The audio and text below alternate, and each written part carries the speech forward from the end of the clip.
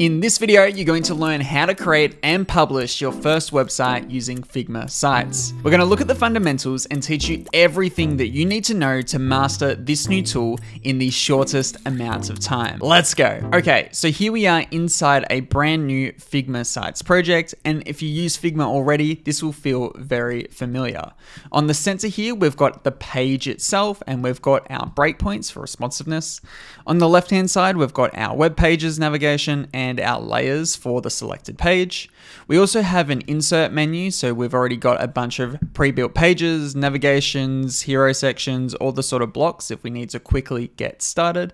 And in the future here too, we'll be able to access the CMS. And if we click on the settings icon here, we can configure all of our site settings across all of our pages. And at the very top of our page, we have a publish button, but let's not press that yet because first we need to build our website. Now, it's also important to note that on the right hand side, we can still use all the things that we love about Figma. So text styles, color styles, all that stuff you can find over here. Okay, so just for now, let's go ahead and delete our mobile breakpoint because we'll come back to responsiveness a little bit later on. Now we can start by copying an existing design from another Figma project into Figma sites to quickly get started, but since we're trying to master this tool, let's build it from scratch. Now, even though we can build a Figma site like any other Figma design, What's really important to learn here is frames and auto layouts because this is going to let us create true responsiveness. So let's go ahead and create a new frame on the page by pressing F on my keyboard and I'm just gonna size it up here.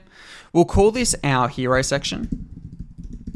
And let's actually apply a bit of a background color here as well. And what we're actually going to do is we're going to turn the width here to be fill content. Now, when we set the width or height of something to be fill content, it's going to take up as much space as it has available.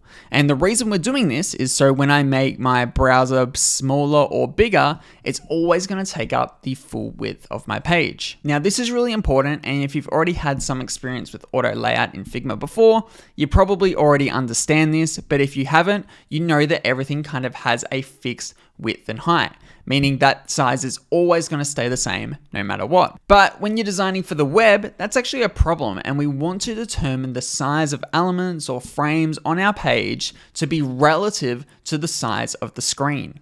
So in this hero section here, we can leave this as a fixed height because we always want it to be a certain height. So let's just set this to be 800 pixels. And inside my desktop breakpoint now, I'm actually going to set the height to be hug contents, meaning it's going to take up no more space than it needs. And then let's say we duplicated this section here, you notice everything just kind of fits quite nicely. But for now, let's just work on our hero section. So let's go ahead here and let's actually apply a background color. And we can also create this as a color style as well. So let's call this our light gray and we'll create that as a variable. Now, what I'm gonna do is just start designing my sites. We'll worry about adding auto layouts shortly. So let's go ahead here and add some copy. So we'll go for the new age of work. And let's just kind of size this to look pretty nice on my page. Maybe this is a little bit too big. So maybe we'll shrink this down a bit to say 110 pixels. And let's make this go over three lines. Let's also add a description in here too. So let's change the font and the font size because that's gonna be way too big. And let's paste in some copy and let's just tweak our styling. And I want this to kind of sit at the bottom left and then on the bottom right here, I actually want to have a button. So I'm gonna create this as a new frame here.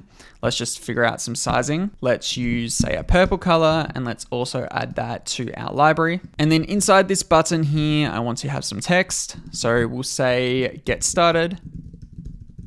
And what I'm actually going to do is select the layout option to have auto width. So it automatically just calculates the width of my text so it's flexible. And let's change the background color to be a white. And lastly, let's just draw in an arrow here and Figma already has all the design capabilities that you know and love built in. So it's really easy to actually build and design your websites. Okay, cool. Now let's take this button for example. So first thing first, let's actually rename this to be called button and let's go ahead and enable some layout options. So I'm gonna set the layout to be horizontal and we're actually going to set the width of this button to be fixed. So let's just resize that to where we want it. And let's also set a fixed height as well. So let's make this say a little bit bigger.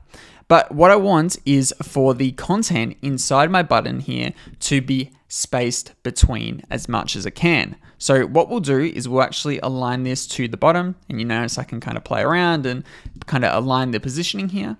And then what we'll do is we'll set the gap here, which is the space between our elements here.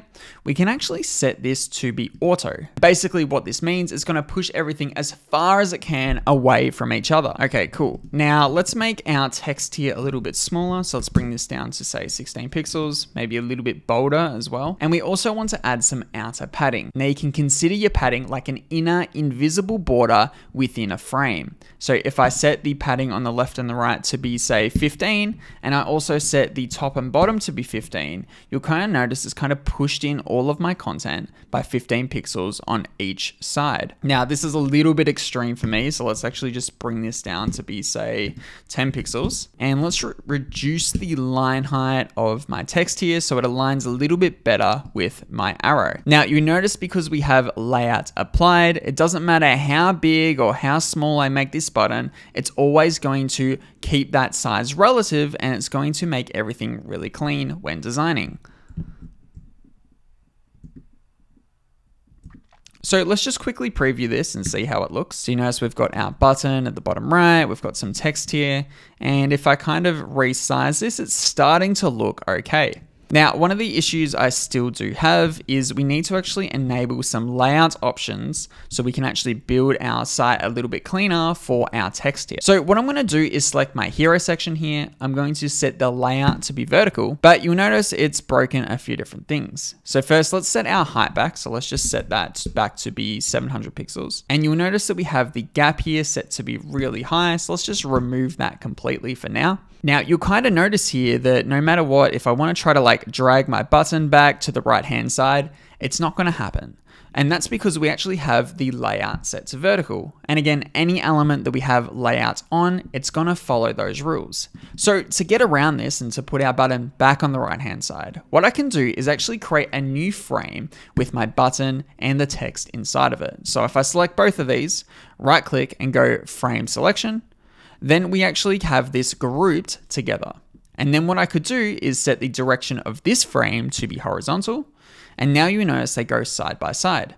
And since the frame that it's in has layout applied, we could set the width of this to be fill container, and then we can set the gap here to be auto, and everything gets pushed as far as it can. We can also set the alignment here to be to the bottom so the text aligns with the button. And inside my hero section here, we can do the same thing with the gap where we set the gap to auto and then everything gets pushed outwards. Now, the reason we've built it like this is so when we design for responsiveness, it's actually going to configure properly. So even though this is a freeform canvas and you can design things however you want, you should really consider how things are built on the web. Because if you build it that way inside of Figma, you're gonna save yourself a ton of time and actually build a cleaner website. Now, I'm also gonna drag and drop in an image here and I kind of wanna fill this empty space that we have here. So let's grab this image and let's actually put it inside our hero section, but you will notice we're kind of restricted yet again to the rules of our layout. Now, if we select that image and if we go to position and if we set the positioning type to be absolute, you'll notice that even though it's inside this hero section with layout applied, we can actually kind of control it however we want. Now imagine you're kind of sitting at a kitchen table and there was a lots of seats around you. You pick up your chair and you move your spot. It affects only you, but nobody else around you.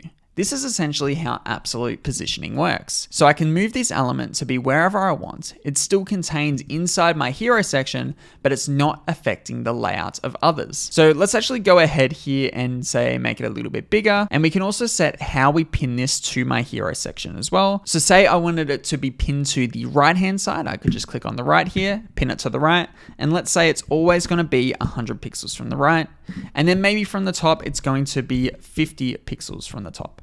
So then you'll notice when I preview this and if I kind of drag this out, it's always going to stay in that position. Now, maybe I want it to be a little bit more centered on my page. So if I just double click this center here, preview that, you'll notice that Figma will automatically try to keep it as centered as possible. Let's go ahead and really scale this up now for effect. Now, inside of Figma, we can also use components just like any other component inside of Figma, but you'll notice if I kind of right click this frame here, I actually can't create it as a component, and that's because it's already living on the page.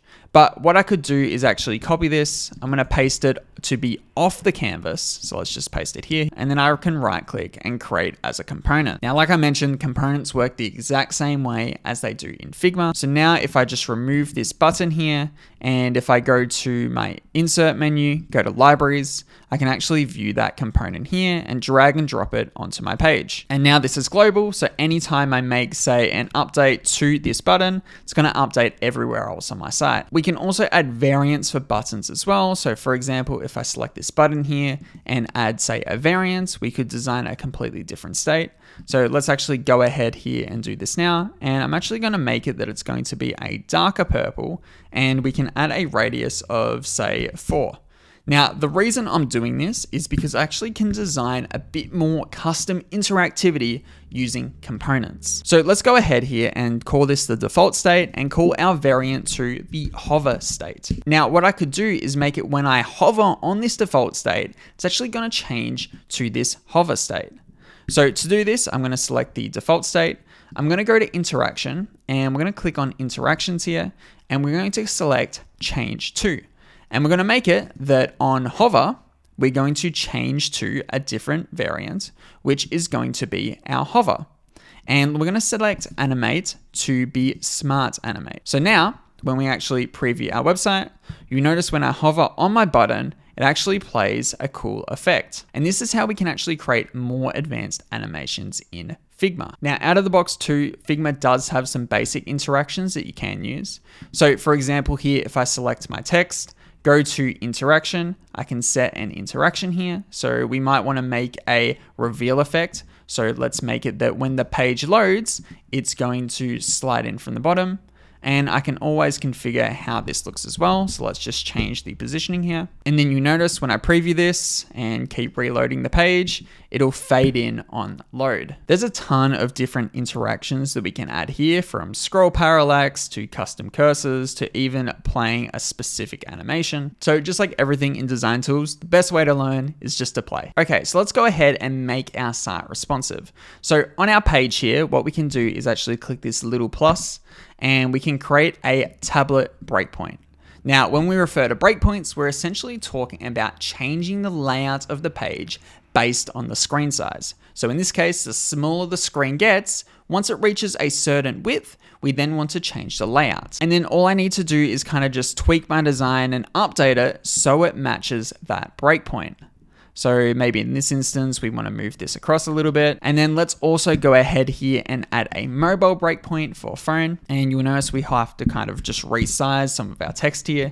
Now you can also use text styles to automatically do this across breakpoints as well. So let's size this down. Maybe it can be a little bit bigger. Let's say it's going to be 68 pixels. And let's set the width here just to be fill container. Let's keep the layout here, but let's actually align it to the left and then my text here, we want to set the width to be fill container as well, so it doesn't overflow. And then let's also find our image here and make sure it sits in a nice spot. And maybe on mobile too, we want the height to be a little taller since it's actually on a mobile screen.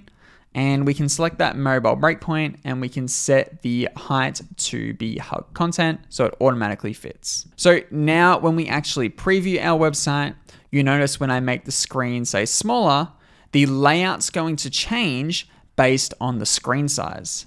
Now, obviously this isn't 100% perfect, but if we spend a little bit more time tweaking this, we'll get it just right. You can also add a custom breakpoint. So if you are working for larger screens or in between screens, you can do that. But to be honest, it's probably a little bit overkill, but again, depends on what you're trying to build. Now, if I go to my site settings here, we can configure the site settings for the entire website or a specific page. So this will be really good for our SEO. So I can give it a site title. So we'll go my first project.